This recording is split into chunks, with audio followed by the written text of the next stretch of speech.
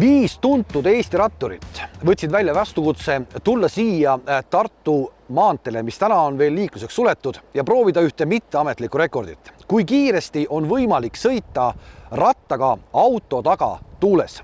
milliseks kiirused lähevad, me ei tea ise ka, sest ükski rattur tegelikult trennides sellist asja harjutanud ei ole. viis meest panevad kõik kordamööda ennast nüüd lähipäevadel joonele kui tavaline see on siis, et äh, tippratturid auto taga tuules äh, selliseid kiiruseid harjutama hakkavad? no trennis üldjuhul sõidetakse motorolleri taga, et kiiruse taga suureks ei läheks ja oleks seda tuult natuke rohkem, samas saab kiirust arendada. autotuules tehakse sedasamat asja samuti, aga makskiirust taga ajama ei minda, et äh, tegelikult kiiruse laugelt ka allamäge lõigu peal võiks väga-väga suureks ajada. pigem otsitakse laugelt vastumäge kohti ikka, et ratturi jõuga tagant maha jätta, kui siis see tippkiirus on saavutatud, ütleme seal seitsekümmend viis, kaheksakümmend aga nüüd siin neljarealise peal on tõesti väga hea uus sile asfalt, äh, täiesti sile sirge lõik, et saame näha, siin võib kuni sajani välja minna küll.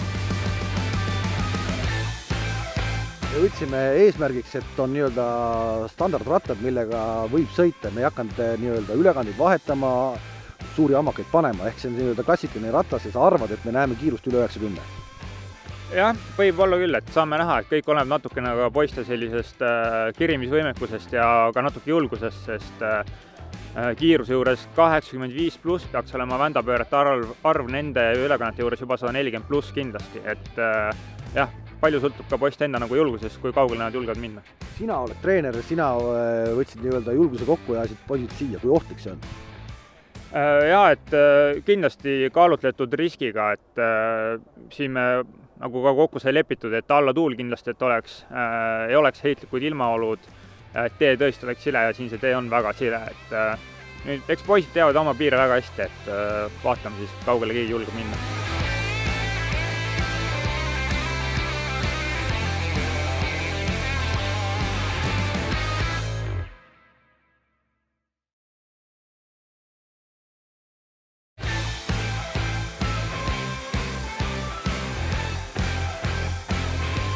esimene mees viiest on kõige vanem ja kõige kogenum, Gert Jõer. Gert, äh, sa ei ole teinud tegelikult sellist asja vist ka, nagu, nagu siin treenerid räägivad, et see on uus asi sulle ka?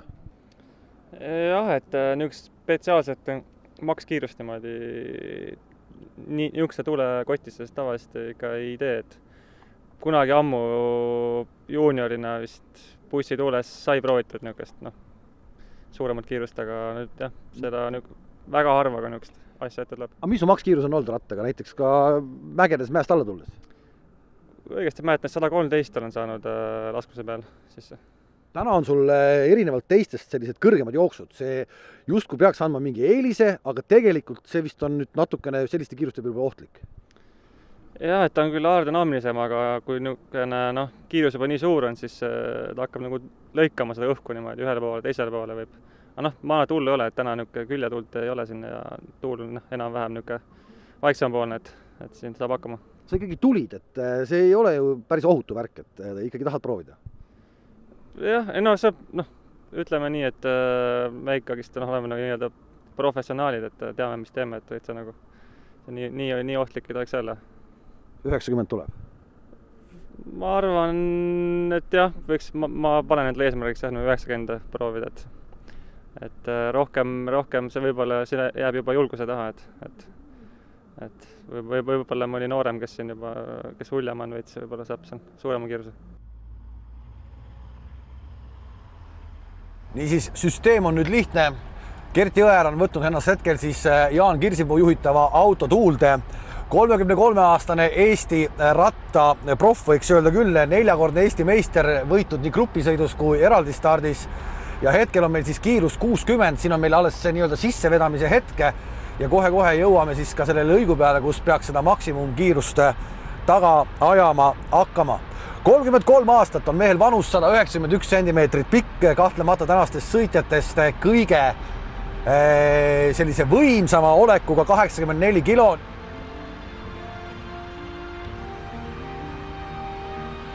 ja tundub, et esialgu veel mingit probleemi ei ole, ta peab hoidma ennast väga-väga äh, korralikult sinna auto taha.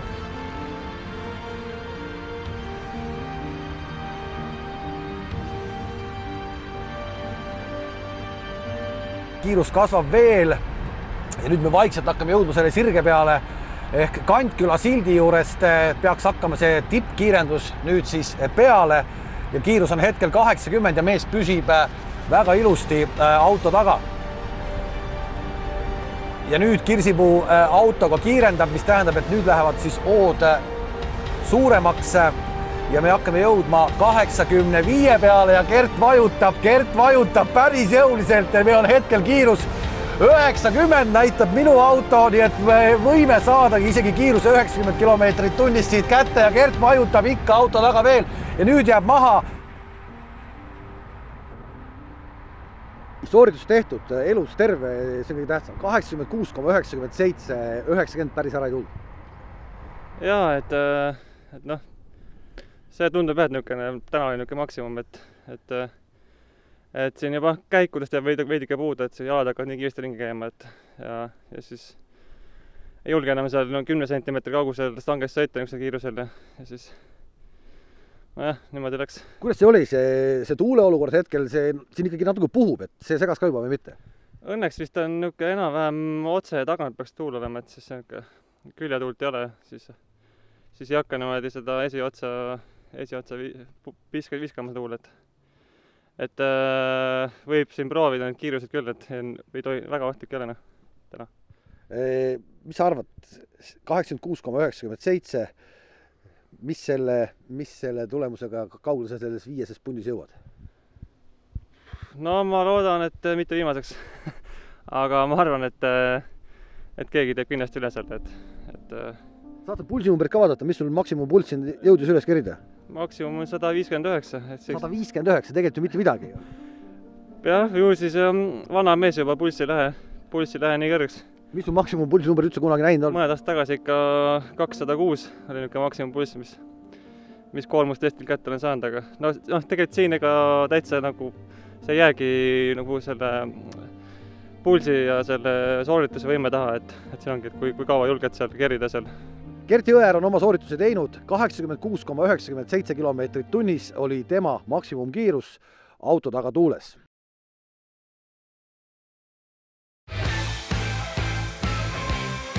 Artjom, ka sina ilmselt ei ole midagi sellist eh, oma lühikese karjääri jooksul veel teinud? ei, tõesti, see on eh, minu jaoks esimene kord. No eks võistlustel ikka vahest tulnud ette auto taga sõitmist, aga niisugust ekstreemsust pole veel saanud proovida ometi sa ei keeldunud, kas mandri käskis või, või ikkagi ütlesid, et davai, ma proovin? ei, vabatahtlikult olin ikka nõus, sest äh, miks ka mitte testida ära. niisugune äge asi, et palju saaks kiirust kätte, noh. Et natukene niisugune hulljulge ise ka vaata. sinust äh, viisteist aastat vanem mees, kes äh, üht-teist on oma karjääri jooksul juba näinud, väntas välja kaheksakümmend kuus koma üheksakümmend seitse. ehk see on päris hea vajutamine no see on päris hea number, aga mina ütleks, et on võimalik ka üle teha. Lähedki tegema? no kindlasti, proovime, vaatame. Meie järgmine võistleja täna siis on rajal ähm, kõige noorem mees sellest seltskonnast ja see on siis kaheksateistkümneaastane Artjom Mirzojev, kes oma suuri rattategusid hakkab alles lähiaastatel tegema samal ajal tänavusel aastal on ta juba eh, võitnud nii mõnegi eraldi stardisõidu, mis näitab seda, et jalga tal kahtlemata on. Rattatrenni kui sellist on mees tõsiselt teinud viimased kuus aastat, nii et kaheteistkümne aastaselt eh, alustas mees ja enne seda tegi siis akrobaatikat, nii et eh, täna siin, kui rattaseljas on vaja trikke teha ehk püstijäämisega probleeme ei tohiks tekkida, me oleme jõudnud hetkel sujuvalt kiiruseni seitsekümmend kilomeetrit tunnis ja nüüd me hakkame alles äh, korralikult vedama ja kui Gert Jõeäär ütles, et lihtsalt ei julenud autost kümne sentimeetri kaugusele sõita kiirusega üheksakümmend kilomeetrit tunnis, siis Mirzojevil tundub hetkel seda probleemi ei ole. Ja mees reaalselt julgeb vajutada, kaheksakümmend on meil hetkel äh, mängeldes sisse tulnud. Ja kas äh, Mirzojev vajutab juurde siit veel või mitte, kiirus püsib kaheksakümmend ja kas ei olegi rohkem jalga?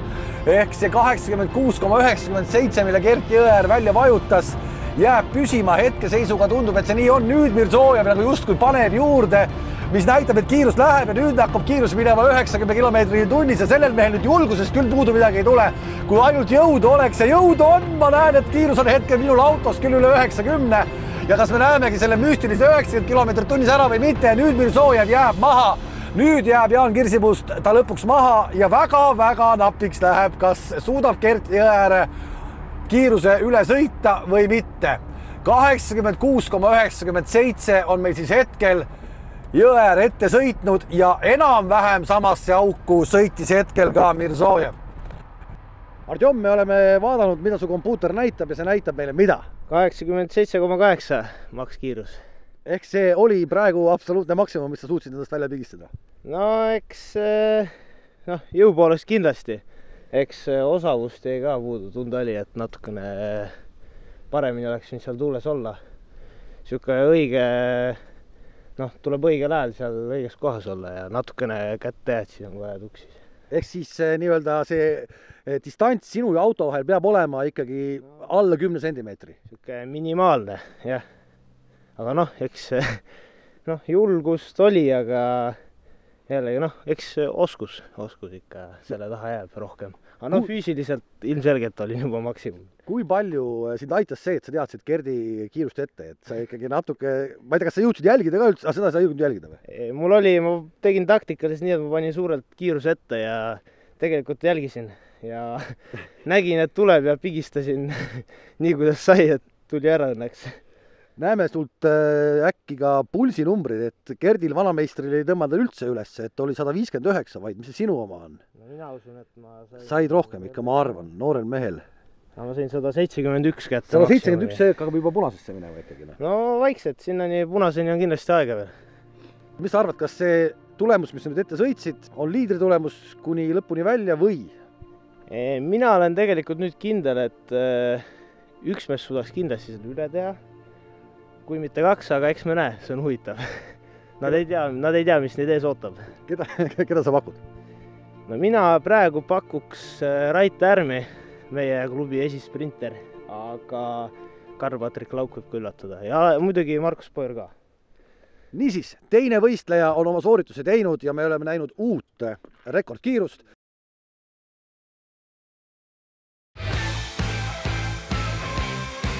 meie kolmas võistleja tuleb Saaremaalt viikingite mees, Karl-Patrik Lauk, sa oled üks äh, kõvema sprindialaga vendi ilmselt, nagu räägitakse, et äh, mis sa ise arvad sellest väljakutsest siin äh, makskiirust taga ajada?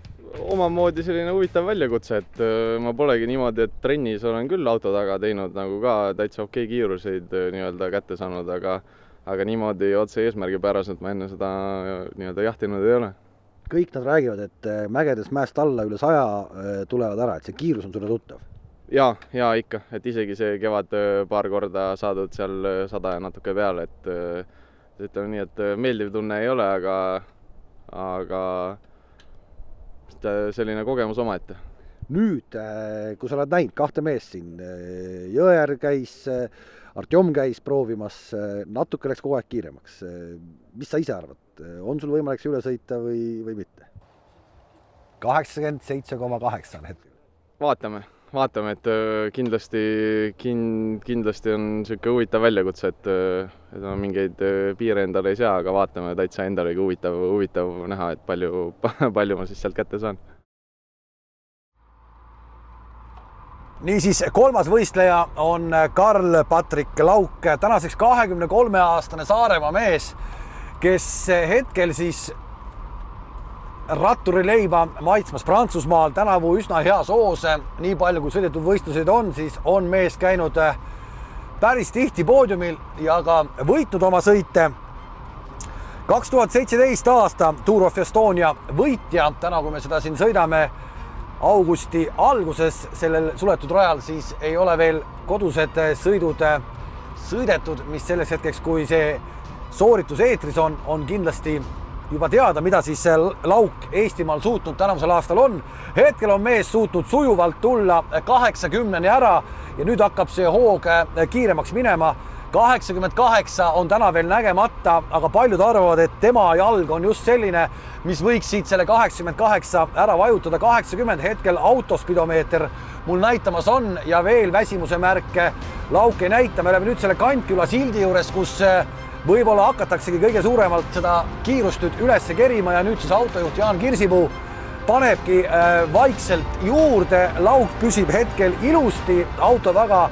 kiirus on tõusnud nüüd üle kaheksakümne ja nüüd kiirus tõuseb.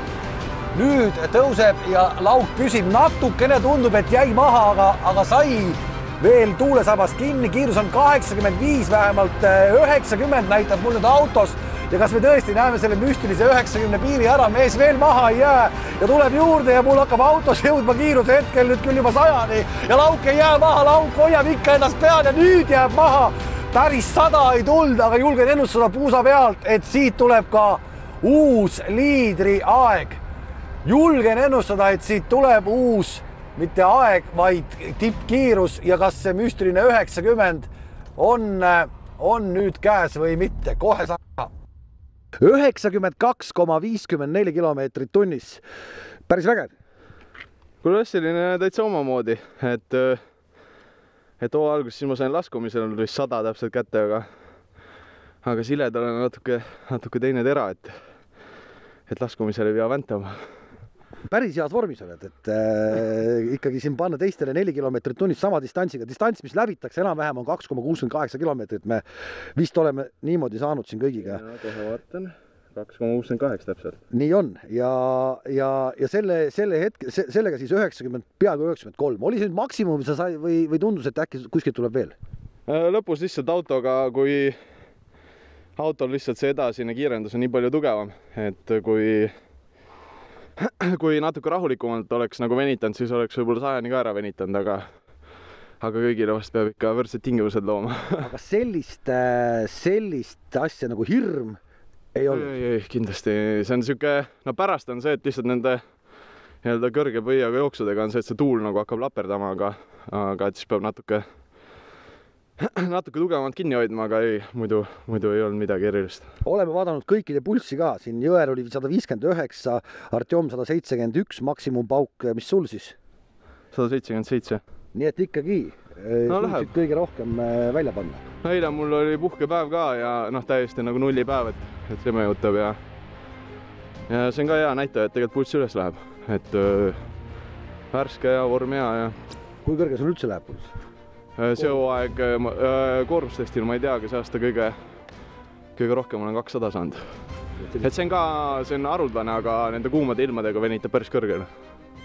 arvad, et see number, mis nüüd ette sõideti, peaaegu üheksakümmend kolm, on võiduks piisav? oi, ma ei tea, ma ei tea, see on niisugune, on, mis on, et muud enam ei ole midagi nagu eraldi starti sõitiski, et kui oma sõidu tehtud saad, siis pärast enam muuta midagi ei saa, et tuleb, mis tuleb.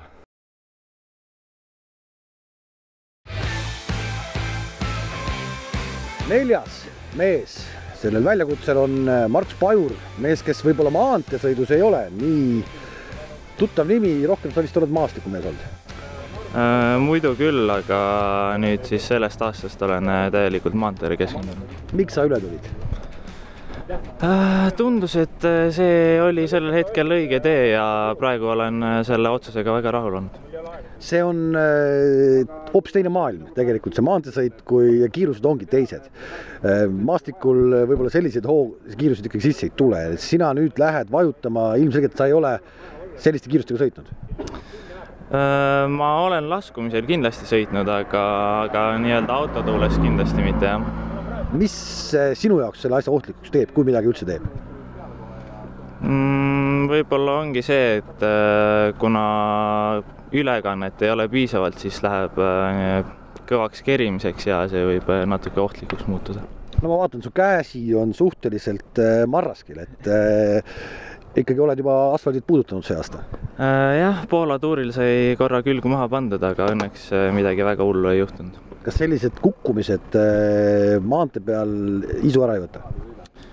eks esimesed päevad ikka on niisugune, võib-olla ei roni ratta selga nii hea meelega, aga, aga see läheb ikkagi päris kiiresti üle. me oleme läinud hetkel äh, tõusustempos alates Gerdist kuni nüüd siis Patjuni välja. kiirus on läinud kaheksakümne seitsme pealt peaaegu üheksakümne kolmeni. Äh, kuhu suudad? Ei oskagi midagi siin pakkuda, aga no ma ise loodan, et äkki üheksakümmend tuleks ära.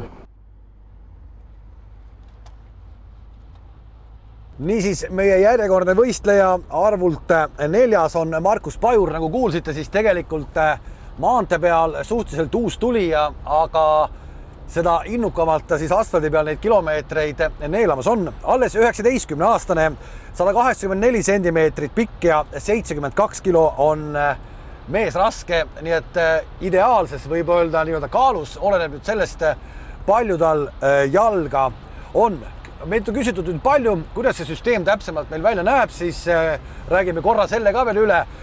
saateautos siis Jaan Kirsipuu roolis kerib autoga kaheksakümmend kilomeetrit ette ära, laseb nii-öelda poistel seal see rütm sisse saada ja siis hakkab peale vajutama, ehk et kes seda maanteed nüüd sõitma hakkab Tartu maanteel, siis see Kantküla silt on see, kust põhimõtteliselt hoogu juurde panema hakatakse. me oleme jõudnud Markus Pajuriga nüüd täpselt kaheksakümne kilomeetrini tunnis ja nüüd on see hetk, kust äh, Kirsipuu hakkab ka autole hoogu juurde panema.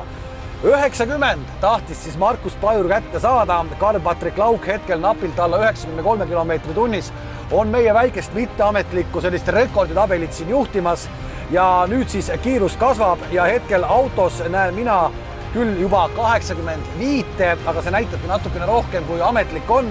Ja Pajur julguse taha tundub küll Markusel midagi ei jää, vajutab päris jõuliselt, jalad käivad ka hirmsa hooga hetkel ringi ja siit tuleb üheksakümmend ära küll, sest mul auto hakkab jõudma juba sajani ja me hakkame jõudma selle rõõsa sildi juurde ja kas nüüd Pajur jääb maha? nüüd jääb maha ja peaaegu sada näitas auto ära ja see on väga-väga lähedale Karl-Patrik Lauk laugu kiirusele, mitte palju igatahes ta alla ei jää, kui üldse sa tulid äh, jutu järgi üheksakümmend püüdma, aga sa lõid selle üheksakümne ikka jõuliselt lõhki uh,. jah, tuli natuke rohkem, et äh, tuli üheksakümmend kaks koma kuus. see on uus liidriaeg, sa panid Patule endale koti pähe uh,. jah, läks, läks päris hästi. sa jõudsid siin treener Kirsipoole öelda, et sa hakkasid mingi kiiruse pealt juba püsti tõusma päris lõpus, et mis selle asja idee oli? Äh, jah, ma ei suutnud enam sadurist kerida, mõtlesin, et ma proovin püsti tõusta, aga. kiirus oli üheksakümmend kaks. umbes nii ja, aga see oli, see oli viga, ütleme niimoodi, et sealt enam midagi rohkemat ei tulnud. aga oleks istuma jäänud, siis äkki oleks natuke veel vajutanud või mitte? no ma arvan, et natuke oleks võinud veel vajutada, aga ütleme nii, et äh, tänu sellele käigulimiidile siin väga palju ei ole nagu võimalik rohkem välja, välja sõita. aga jalad käisid küll hirmsa hooga, seda oli isegi visuaalselt näha, et sealt võeti ikka no täielik maksimum. jah, et selle, selle koha pealt ongi nii-öelda piiraja ees, et oleks raskem ülekanne, siis, siis kindlasti suudaks veel rohkem välja panna. üks mees on peale sind veel tulemas, Rait Härm. milleks see mees võimeline on?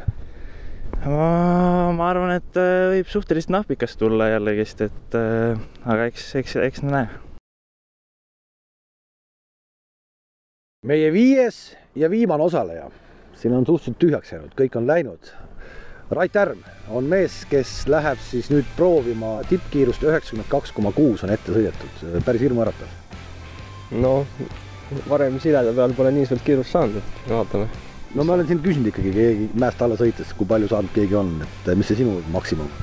Äh, sada olen näinud kompuutri peal. sada ja nüüd sa tahad sirge peal saada üle üheksakümne no üle üheksakümne oleks päris idekas. paljud ütlevad, et äh, kes siin nüüd sõitmas käisid, et sina oledki võib-olla favoriit, et sul on seda jalga kõige rohkem. no sprinterina jah, et jalg käib päris hästi all ringi, et noh, eks vaatab, mis saab. aga sa ei ole teinud varem sellist asja? Äh, no nii kiiret kiirust ma ei ole püüdnud jah. saame näha, üheksakümmend kaks koma kuus, jäta see meelde. hea küll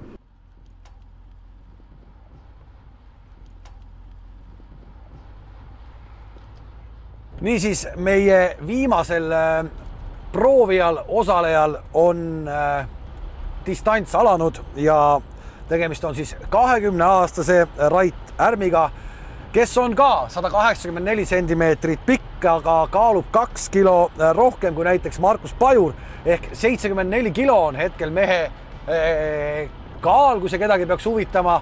Ja tegemist on siis eh, kõva sprinteriga ning eelmise aasta U kakskümmend kolm Euroopa meistrivõistluste pronksimees ja just eh, kõva sprindijalaga ta selle medali sealt eh, välja võlus. see sõit oli talle suhteliselt keeruline, kui alguses jäädi seal pundis kukkujate selja taha, aga tagasi ennast võluti, nii et selle pika jutu kokkuvõte on see, et jalga peaks mehel olema ja üheksakümmend kaks koma kuus kilomeetrit tunnis, kes meid siis vaadanud veel ei ole, on hetkel eh, see maksimumkiirus, mis me kätte saanud oleme. kohe jõuame selle Kantküla sildi juurde, kust eh, hakkab ka Rait Ärm nüüd vajutama ja kaheksakümmend on tal nüüd sujuvalt sees siin olnud juba päris pikka aega. Ja nüüd siis eh, Jaan Kirsipuu, kes on saanud roolis väga hästi hakkama, seni nelja sõitjaga, saab ka ilmselt viienda sõitjaga suurepäraselt hakkama, kiirus koguneb nüüd on kiirus hetkel kaheksakümmend viis, Rait Ärm püsib ilusti hetkel. nüüd on kiirus üheksakümmend, vähemalt mul auto peal, Ärm püsib ja võib öelda, et hingab jätkuvalt veel läbi nina. ei ole mitte midagi mehel seal juhtunud, kiirus on läinud mulle üheksakümne viie peale. Ärm püsib jätkuvalt, Kirsipul on ka kergelt juba suu lahti, et see mees ei jäägi maha kiirus läheb saja peale, Ärm ei jää ikka maha ja auto oi-oi-oi, mis nüüd toimumas on. mida teeb Rait Ärm, see on müstiline kiirus, mida see mees näitab. siit tuleb uus liidriaeg, ma julgen öelda küll, et see nii on, sest eh, mees ei jäänud lihtsalt maha ja mis see lõpuks siit välja tuleb, Kirsipuu raputab ka kõrvalautost pead. siit tuli midagi võimast, siit tuli midagi võimast. kohe saame ametlikud andmed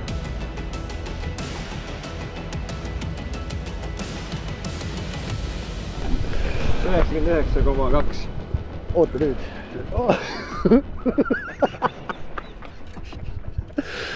nii, me oleme saanud ka ametlikud kiirused ja Rait Ärm on vajutanud välja siis üheksakümmend üheksa koma kaks. esimene küsimus on, miks sotti ei tulnud? noh, ma pingutasin, ma üritasin, enne kui sõitma hakkan, siis ma mõtlesin, et sada oleks päris hea eesmärk kätte saada, noh, null koma kaheksa jäi puudu, ma arvan, ei ole hullu räägi natukene nüüd sellest kogu sellest distantsist, et äh, alguses ja kuni lõpuni välja, kuidas see kõik käis? no alguses, no kiirus läks seitsmekümne peale suht kiiresti, siis pidi suht korralikult vajutama. aga no mul isa numbreid samal ajal ei vaadanud, et väga ei tajunud ka seda kiirust ja siis vaikselt pandi juurde ja juurde ja siis mingi hetk jäin maha tuulest ja mõtlesin, et ega väga kiire vist ei olnud, aga üheksakümmend üheksa tuli ära ikka ehk sa ei tajunud üldse, et sa sõitsid nii kiiresti, üheksakümmend üheksa koma kaks, see on ju teistest ikkagi nagu peajagu kiiremini. ei, ise ei tajunud jah nii kiirelt, ma arvasin, et see on kuskil kaheksakümmend üheksa, midagi sellist, aga päris hea üllatus. vaatame neid teisi numbreid ka veel, mis see siis näitab, mis su maksimumvatid siit tuli, kui sul vatte ka juba näitab? no maksimum tuli üheksasada nelikümmend, aga keskmine tuli nelisada viiskümmend. nelisada viiskümmend üheksa on normalized. ehk need on ikkagi numbrid, mida ei ole võimalik isegi nagu ette kujutada, mis sa sealt välja vajutad no autotuules tegelikult äh, täiesti reaalne, et äh, tuule käes ma arvan, noh, päris raske on niimoodi sõita, aga täitsa normaalne. kas natuke jäi nüüd kripeldama ka, et see sott ikkagi ei tulnud või? no natukene jäi, võib-olla oleks teadnud, et on üheksakümmend üheksa sees, siis võib-olla oleks pigistanud veel natukene juurde. Jaan, sa oled nüüd näinud viis poissi ära. meie rattasõitjate tulevik ja olevik on päris hea või? No kas just selle põhjal, aga pigem, pigem on praegu hea jah, sest et äh, U kakskümmend kolm vanuseklassis on häid poisse, juuniorites on häid poisse ja ka nooremaid on peale tulemas, et selles mõttes on olukord päris hea. Te ei öelnud kordagi, et kuulge mehed, lõpetage ära, et ärme tee sellist asja, et te olete nõus sellist asja tegema, ehkki see tegelikult ju ei käi teie treeningute juurde. tegelikult ei käi jah, noh nii suure hooga tuules vedamine, kuigi vahest on see sedagi tehtud, et äh, aga noh niisuguste rekordite mõõtmine, see noh, siin nagu Rait äh, näitas, et sada ei ole, ei ole mingisugune lagi võib-olla, kilomeetrit, sada kilomeetrit tunnis. lihtsalt ülekandetest tuleb puudus natuke, aga noh, jõu poolest sa jaksaks siin nii mõnigi võib-olla üle saja vändata. no meil oli eesmärk, et äh, võtame rattad just, mis on nii-öelda standardpillid, millega saab grupisõitu sõita, et kõigil oleks enam-vähem võrdne jah, et nendel on isegi juba päris suur ülekanne tegelikult peal, et äh, jah, aga noh, üle üheksakümne niimoodi sõita on ikkagi, peab olema jalas jaksu. no sul omal ajal oli jalas kõvasti jaksu, sul jäi proovimata omal ajal selline rekordiüritus või mitte? Äh, päris niisugust asja ei ole teinud jah, et äh, päris maksimumi võtta. aga ikkagi enda tippkiirusrattal?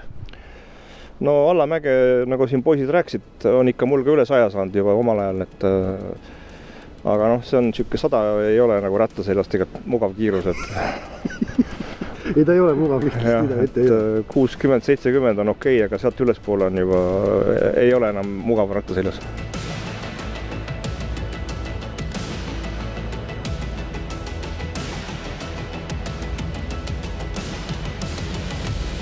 meie väikene eksperiment siin veel suletud Tartu maanteel on lõppenud. Rait Härm, jätke siis meelde, väntas kahekilomeetrisel trassil auto tagatuules rattaga üheksakümmend üheksa koma kaks kilomeetrit tunnis. ärge seda järgi proovige